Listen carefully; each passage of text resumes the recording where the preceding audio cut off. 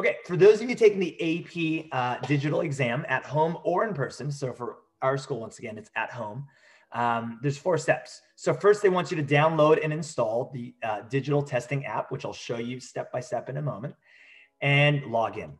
And then from now between your AP exam, they want you to try the practice questions and just play around uh, so that you kind of know what's to be, to be expected of you on the exam date.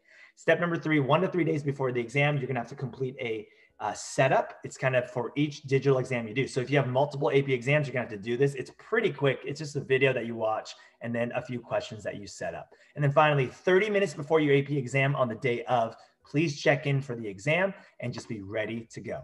All right. So that you have time to uh, do anything if anything happens or comes up. All right. For, for those of you installing the 2021 app, thank you for making it this far in the video. This is for you. All right. So we are going to be doing ours uh, online at home. All right. So this is the same thing. So um, there's going to be a link below and it's going to be called download the 2021 AP exam app. So you can click on that for all the information. And then when you click on this um, button right here on the website, it's going to go ahead and download it onto your laptop that you're going to be using on your AP exam. So just a few things. I just want to show you kind of what happened to me when I installed my app. This thing will come up. It's going to say installing. There's going to be a desktop icon that's going to pop up on your desktop. Don't be, don't be afraid of that. That's normal. And then it's going to go ahead and load up. Okay. Now, as you load up, the first thing that they're going to have you do is they're going to have you uh, log in. This is the same login that we've been using for AP Classroom and for the AP uh, website. So just go ahead and do that. And then you're going to hit that submit button. And if you forgot your username and password, you can find it there. Next, it's going to have you um, agree with the terms and conditions. Once again, you are signing this, you are, uh, you are agreeing to this. So my best advice whenever you sign anything is to read it. Now, most people don't. So that being said, I've done your due diligence and I've kind of walked through a few important things that you got to know.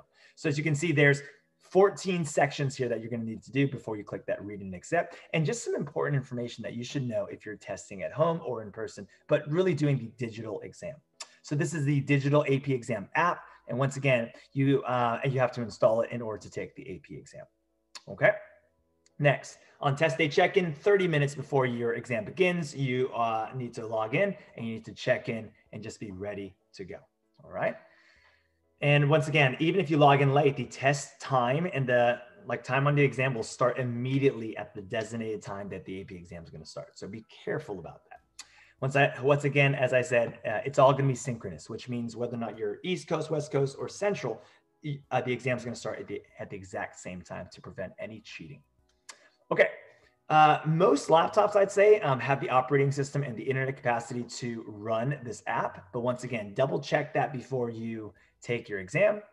The device that you need, once again, it can be really any, your laptop, school laptop, doesn't matter. However, there's something that I saw here that you should have enough disk space to run the exam. And so if your laptop is completely full, that's something to note. Just make sure you have enough, have enough space on your computer to run this application and to store this information.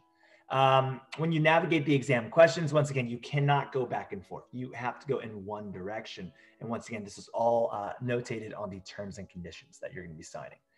Managing your time. So once again, there's a timer on top and you can hide it if you want. But once it hits five minutes, it's going to go ahead and pop up and it's going to be in red. And you're going to go ahead and see that you only have five minutes left.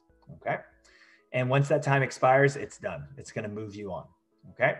When it comes to answer submission, okay, it's really interesting here because once you finish your AP exam, it's going to automatically submit if you're connected to the internet. Now, this app is pretty interesting. Uh, it's pretty cool because uh, even if your internet logs off for a little bit or logs back on, it's going to save your information. That being said, in order to submit it, you have to connect to your internet. And I believe it said there, you must submit it within five days. I wouldn't even wait that long. I would, I would do it immediately.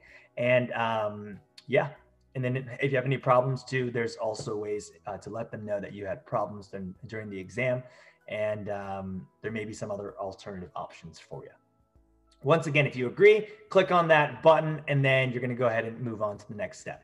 The moment you click on that button, this uh, website, uh, this browser uh, uh will kind of open up. Uh, all of your AP exams will be loaded five days before the AP exam date. So you should have nothing in there right now, no active digital AP exams, but five days before you should you should see that pop up. Now click on the second tab right here that says practice. Now to uh, to set up your exam, you're gonna click on this one down here. And this is to set it up for your actual AP exam.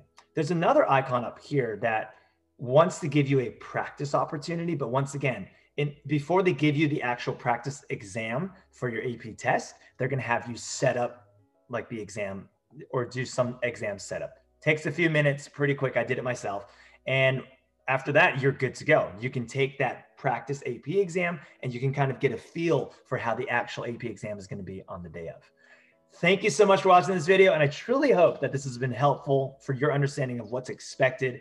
For more life lessons and the content, please consider subscribing to our channel if you haven't already, or click on that like button to really help out our channel. It's been a pleasure. It's been an honor making this content for you. And I wish you the very best on your AP exam when you take it. All right. See you next time.